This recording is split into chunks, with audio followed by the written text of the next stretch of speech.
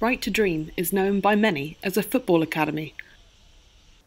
But today, preparations for a very different competition are underway.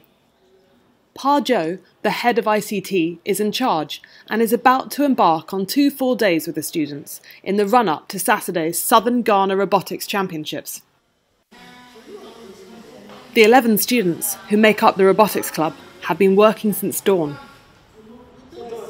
And with only 48 hours to go, the concentration is building. Split into four teams, there is a healthy rivalry among the students. So we are the senior team for the Right to Dream Robotics Club. The bosses, the senior team, the bosses. Yeah. So my name is Isaac Marco. Uh, I'm Kosa, aka Kosi. Abdul Shakur Busquets. Yeah. Do you want to be the other RTD teams? Oh, definitely. yes, of course. if they beat us, it will be like a shame to us. Their first time, then they beat us.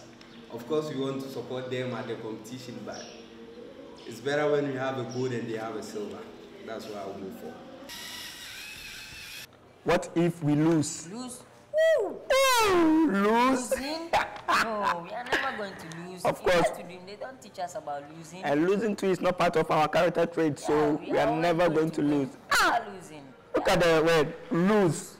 Lose? I don't want to even hear that again. Hi, I'm Nuhu. Hi, I'm Fatih. And Together, we are the junior team, and we really really want to wanna win.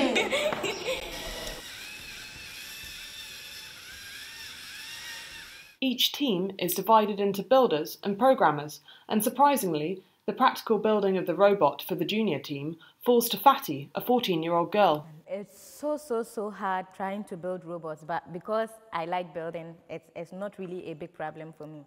And right now, what I'm trying to build is um, getting something in front of the robot that is going to push obstacles away whenever it meets it. The whole day we weren't at school, and we've been putting in much effort on these robots to do whatever we wanted to be. So by the end, I think with all the effort we kept in building this robot, we will start clapping for it because the effort, sometimes effort pays. So Fatty isn't the only girl. The youngest team is made up of four girls, some of whom are the newest members of the academy. Hi, I'm Mara. Hi, I'm Diamond. Hi, I'm Abigail. Hi, I'm Krista. We are the primary team. As the day progresses, Pa Joe advises the teams so they stay on course. So right now, like I said, what you need to do is, first of all, but don't touch the, the last uh, power steering. You know the first one, the high one. Don't touch that one. Let that one remain.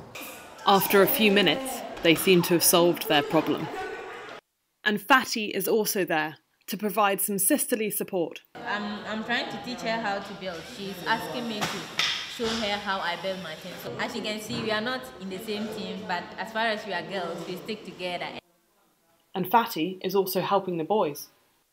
While she helps Kingsford, her teammate Nuhu is busy programming their robot. I'm just trying to make some tiny changes to my program because it does not really do the thing that I want it to do. And then, and then doing this is, is really frustrating too because you know, sometimes, you know, sometimes like you need lots of patience in doing this. And then if you're not patient enough, then you can't really, really, really do this. And then that's really tough.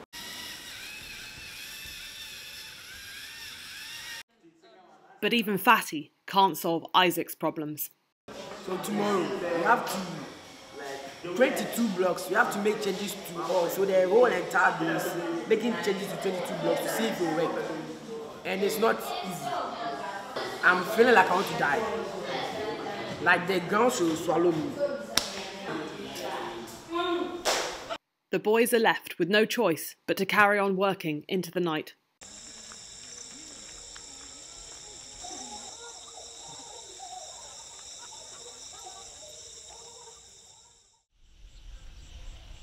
The next morning, things are looking up for the students. Yesterday was really horrible. We had a bad day, I can say, because we had loads of mistakes in the program. But today is different. Shut up is doing a good job. With things back on track, the students allow themselves a chance to relax. Do an impression of a robot sound.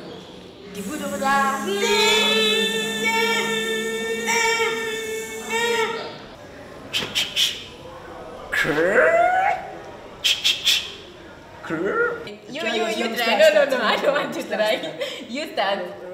Mm-hmm.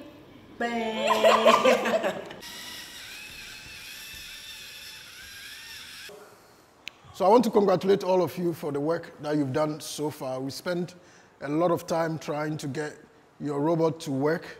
Uh, we have, as it is right now, we have less than 24 hours to make an appearance at the competition.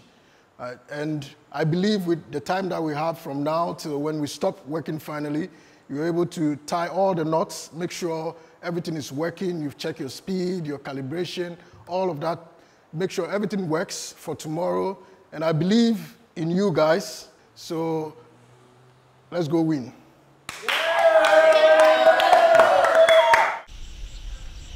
And Fatty takes some time to consider what this really means to her.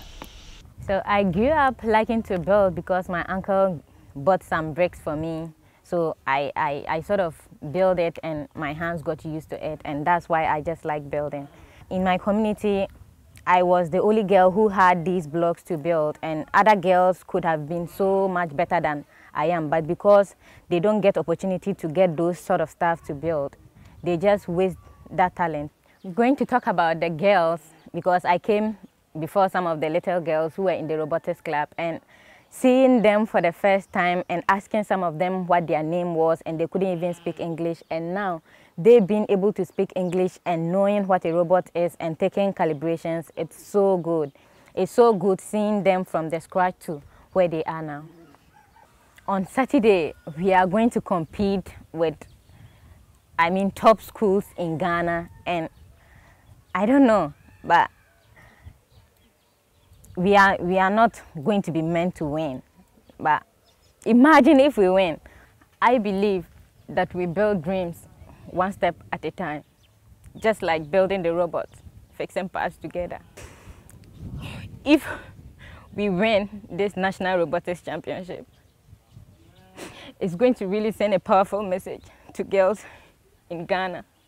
This means that I'm one step closer to fulfilling my dreams. Yeah.